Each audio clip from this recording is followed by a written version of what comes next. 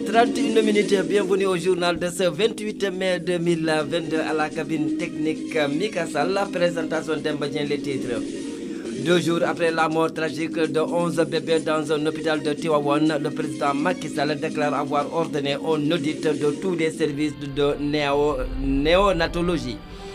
Les syndicats d'enseignants et le gouvernement se retrouvent lundi pour parler des accords. Les séries de drames se poursuivent. Une nouvelle tragédie secoue la commune de Dara Djolof où un charretier a tué un coup un, un, élève âgé de 17 ans. International en Mauritanie, la brigade des douanes en service au débarcadère de Rosso a saisi 26 Jeudi 26 mai, une quantité de bouteilles de bière dissimulées dans la malle arrière d'un véhicule de marque Avantis en provenance du Sénégal. La République démocratique du Congo accuse le Rwanda de soutenir la rébellion du M23. En guise de protestation, les autorités congolaises ont décidé de samedi de suspendre les vols de la compagnie aérienne Rwanda Air. Sport et revue fermeront cette édition. Le développement dans un court instant. Bonsoir madame, mademoiselle, messieurs, bienvenue deux jours après la mort tragique de 11 bébés dans un hôpital de Tiwawan. Le président Macky Sall a déclaré avoir ordonné un audit de tous les services de néonatologie.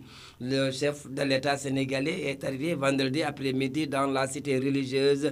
Il est rentré précipitamment de Malabo en Guinée, Guinée équatoriale où se tenait un sommet de l'Union africaine. Outre l'ouverture d'une enquête annoncée par le gouvernement, des mesures plus fortes étaient attendues de sa part après le décès dans un incendie de 11 nourrissons à l'hôpital Mam Abdul Zassi. J'ai ordonné que l'ensemble des services de néonatologie puissent être audités par l'inspection générale de l'État, annoncé Macky Sall s'exprimant sur la télévision publique RTS. D'après lui, cette enquête doit porter sur la construction, l'installation et les équipements des services de néonatologie des hôpitaux publics dans le but d'éviter de tels drames à venir.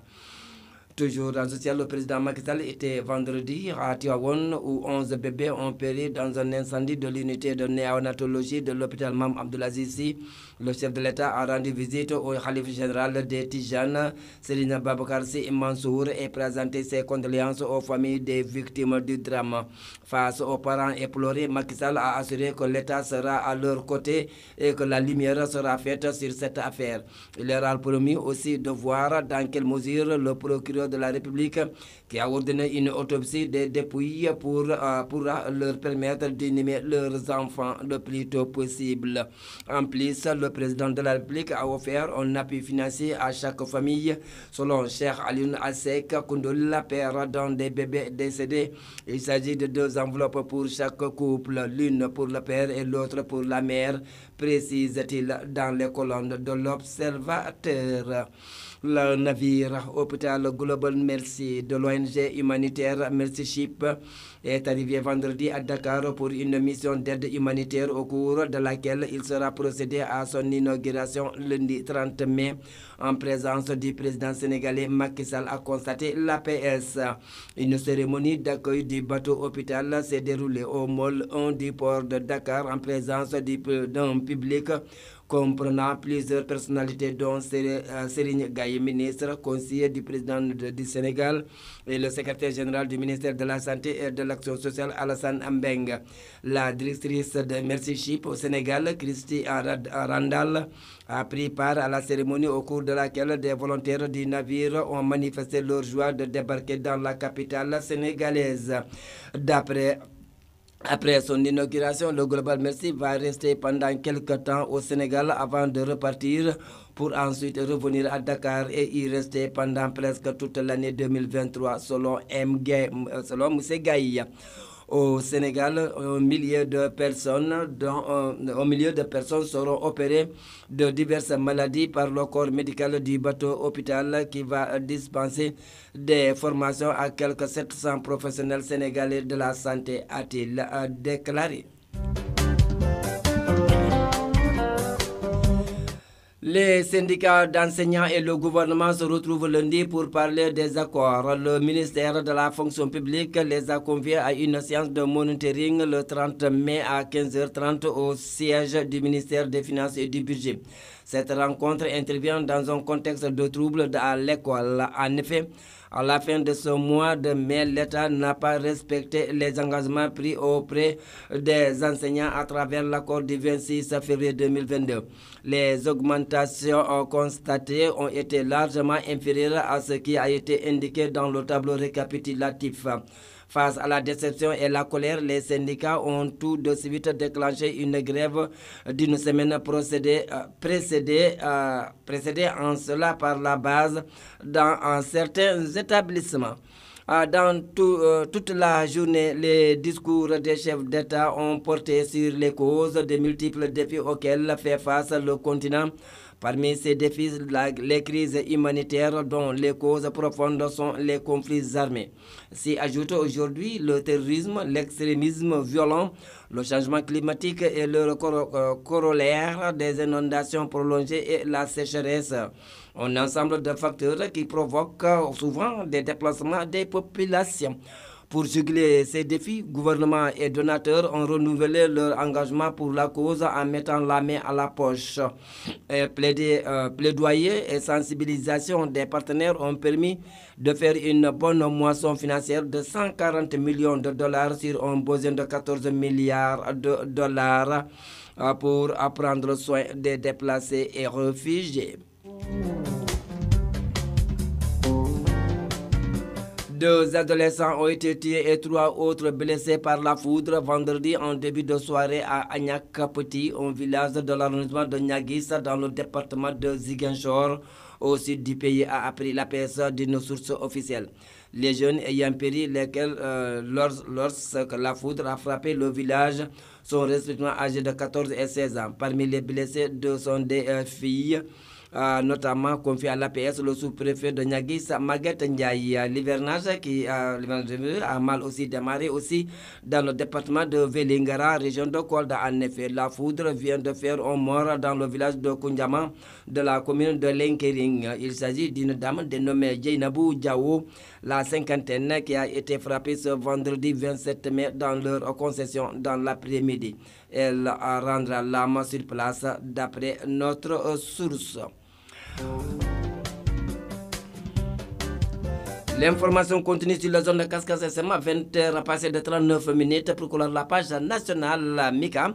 Les séries de drames se poursuivent. Une nouvelle tragédie secoue la commune de Daradjolov où un charretier a tué à coup un élève âgé de 17 ans. Le drame s'est joué euh, le mercredi 25 mai vers 20h après de la mairie de lors du passage du cortège de Trophy Tour à Dara. Après une petite altercation, le charretier qui travaille au marché central de Dara a asséné un violent coup de bâton à Dame Ndaoua à la nuque, relate Vox Populi. La victime s'écroule et perd connaissance. Elle était acheminée au centre de santé de Dara puis transférée à Dakar où elle a finalement rendu l'âme ce vendredi matin. Le présumé meurtrier est placé en garde à vue dans les locaux de la gendarmerie de Dara. Nous venons maintenant à la page internationale.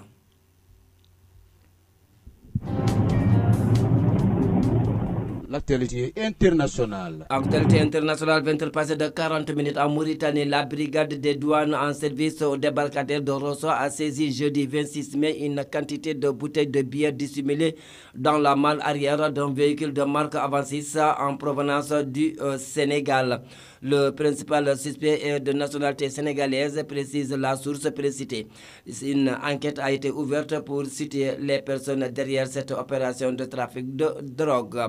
Au Burkina Faso, dans un communiqué parvenu à l'AFP samedi, Lionel Bilgo, le porte-parole du gouvernement, reconnaît que les 22 et 25 mai 2022, les terroristes ont perpétré des attaques, contre des populations, respectivement dans les communes de Gorgadji, et de euh, Mojari, euh, région de l'Est. S'il confirme le bilan de 11 morts lors de la première attaque à Gorgadji, il ajoute qu'à qu Mojauri, les opérations menées par les forces de sécurité et de défense n'ont pas permis de retrouver des victimes pour l'instant. Au Nigeria, 31 personnes ont trouvé la mort ce samedi 28 mai à l'occasion d'une distribution de nourriture, a appris à pas de sources médiatiques. Le drame s'est produit dans la ville de Port Akour, état de Rivière, dans le sud du pays. Selon plusieurs médias citant la police locale, de nombreux individus assistaient à une distribution de nourriture organisée par une église. Une bousculade a éclaté par la suite, occasionnant ses victimes. Enfin, République démocratique de Congo euh, accuse le Rwanda de soutenir la rébellion du M23. En guise de protestation, les autorités congolaises ont décidé samedi de suspendre les vols de la compagnie aérienne Air, euh, Rwanda Air.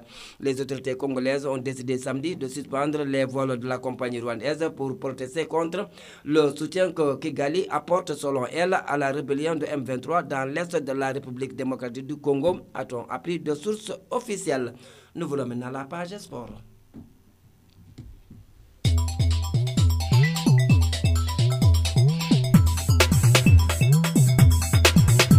Merci Mika. 20h passé de 42 minutes, la page sport nous accueille sur ce plateau à Damakebe. Bonsoir. Euh, bonsoir euh, Damba. Quelle est l'actualité sportive pour cette édition? Merci. L'actualité sportive reste de sur la Ligue des Champions, la finale de la Ligue des Champions qui se joue actuellement déjà euh, à la mi-temps. Liverpool contre Real Madrid 0-0. Donc rappelons, si, juste pour rappeler que la, la finale de la Ligue des Champions, c'est le Real qui, a, qui remporte sa 13 Ligue des Champions remportant sa prime en 1956 et la plus récente c'est en 2018 euh, l'AC Milan est deuxième euh, de la liste avec 7 victoires tandis que le Bayern Munich et Liverpool ont en ont euh, tous 2 6 et que l'FC Barcelone en a 5 à son actif. Au total 22 équipes ont remporté la Ligue des Champions depuis sa création de la saison 1955-1956 donc pour dire euh, c'est le Real qui, est, euh, qui remporte plus de titres, 10, euh, 13 suivi de Liverpool, de Milan 7, Bayern Munich et Liverpool qui a 6. Rappelons que et Liverpool ont, le Real et, Liverpool ont rencontré deux finales de la Ligue des Champions. La première, c'est en 1980, 1980 l'année 1980-1981. C'est le Real qui a battu euh, Liverpool 1 but à 0. Et l'année 2017-2018, euh, c'est c'est l'année 1980-1980, c'est le Liverpool qui a battu Real 1 but à 0. Et 2017-2018, remporté par le Real de Madrid 1 but à, 3 buts à, à 0. Donc là, cette année 2021-2022, c'est la troisième finale rencontrée par les deux équipes, Liverpool Real. Donc, euh, euh, donc si le Real, euh, si le Liverpool gagne, Liverpool va être donc deuxième plus titré avec l'AC Milan 7-7 et si aussi Real gagne donc Real qui va combiner 13 13 titres de Ligue des Champions. Donc actuellement, pour dire Demba, donc la, deuxième mi-temps reprend la deuxième mi-temps reprend Demba. Donc déjà à la 46e minute, c'est toujours 0 à 0. Merci Adama pour ces informations sportives. Nous venons au dernier élément qui est la revue de nos quotidiens avec Mohamedou Labadjabi.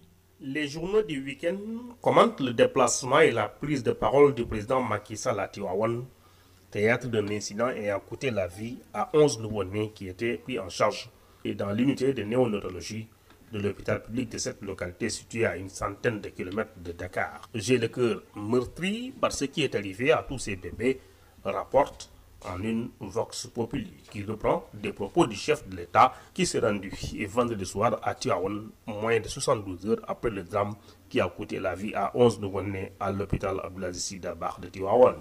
Citant encore Macky Sall, le journal annonce le déploiement de l'inspection générale d'État afin de faire l'audit de l'ensemble des services de néonatologie euh, du pays. Pour Sud Quotidien, le président Sall s'est engagé auprès du Khalif général de Tidjan, Salim Bassi Massour, à œuvrer pour que la lumière soit faite sur le drame survenu mercredi dans la soirée. Le président de la République est formel. Toute la lumière sur le drame de l'hôpital Mam Abdelaziz sera faite. Pour ce qui est de la prise en charge dans les hôpitaux, le chef de l'État a également assuré devant le calife que de fermes décisions seront prises pour que le personnel soit bel et bien à la hauteur des attentes des patients, souligne la publication. Macky Sall tente d'éteindre le feu après la mort de 11 nourrissons dans l'incendie du service néonatologie de l'hôpital Azizi Dabar. Quoi savoir le quotidien Selon le journal, le président de la République a ordonné une mission d'enquête de l'IGE chargée d'évaluer la qualité de l'infrastructure, non sans demander que l'ensemble des installations des services de néonatologie soient auditées. Il a également annoncé la construction d'un hôpital de niveau 3 dans cette cité religieuse. De son côté, le Soleil a mis l'accent sur l'appel à la responsabilité lancé par le chef de l'État lors de son déplacement à Tiwawan. En rendant sur le site du sinistre et en rencontrant le calife général des Tidjanes ainsi que les familles endeuillées, le président Macky Sall a exprimé sa consternation à la suite de l'incendie dévastateur qui a coûté la vie à 11 bébés et appelé à la responsabilité et à la conscience de tous que chacun exerce son métier dans les règles de l'art et le respect de la déontologie pour un bon fonctionnement des services, rapporte le journal gouvernemental. S'intéressant aux annonces faites en marge du déplacement de Macky à Tiwawan, le journal Busby fait pour sa part savoir que le ministère de la Femme, de la Famille, du Genre et de la Protection de l'Enfance allait accompagner les familles des victimes. Pas de mots, s'exclame l'observateur qui a illustré sa une d'une photo montrant des lits calcinés dans lesquels les nourrissons ont vraisemblablement péri. Dans les colonnes de l'AS, la directrice de l'hôpital, le docteur Binta Diop Badjan, explique que tout avait été fait pour sécuriser l'établissement. Mais malheureusement, le drame est survenu et a frappé le service modèle de l'hôpital cité en référence avec des notes d'excellence notées par toutes les supervisions.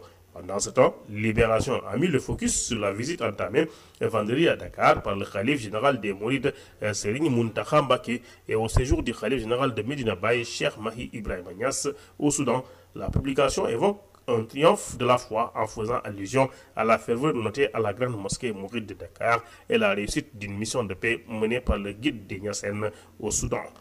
Bonne lecture. Merci Mohamedou Laba Djabé pour cette revue de presse qui met fin à cette édition dont je vous rappelle l'essentiel des titres. Deux jours après la mort tragique de 11 bébés dans un hôpital de Tiawan, le président Macky Sall déclare avoir ordonné un audit de tous les services de néonatologie. Les syndicats d'enseignants et le gouvernement se retrouvent lundi pour parler des accords. Les séries de drames se poursuivent. Une nouvelle tragédie secoue la commune de Dara où un charretier a tué à coup un élève âgé de 17 ans. International en Mauritanie, la brigade des douanes en service au débarcadère de Rose a saisi jeudi 26 mai une quantité de bouteilles de bière dissimulées dans la malle arrière d'un véhicule de marque Avancis en provenance du Sénégal. La République démocratique du Congo accuse le Rwanda de soutenir la rébellion de M23 en guise de protestation. Les autorités congolaises ont décidé samedi de suspendre les vols de la compagnie aérienne rwandaise.